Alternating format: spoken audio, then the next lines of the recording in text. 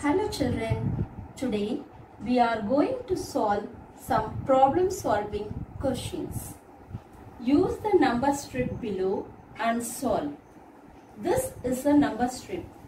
Numbers from 0 to 20 are given on this number strip. Here there are two story sums.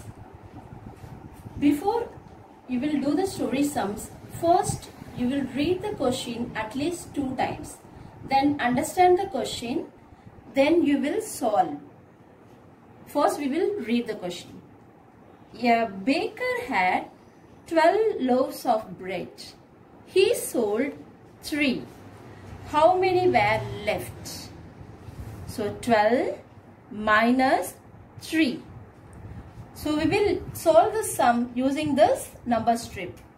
Where is 12? Here is 12. So which number we have to subtract from 12? 3. So start from 12. 3 steps go backward. 12 to 11, 1. 11 to 10, 2. 10 to 9, 3. So we will reach at 9. So 12 minus 3 is equal to 9. So how many loaves were left? 9 loaves left. Let's move on to the second question. There were 15 shops. 6 of them closed. How many are left open? So how many shops? 15 shops. How many are closed? 6 are closed. We'll start from number 15. How many steps we have to go backward? 6. Start from 15.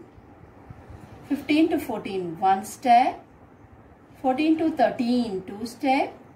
13 to 12, 3 steps. 12 to 11, 4 steps. 11 to 10, 5 steps. 10 to 9, 6 steps. So we will reach at 9.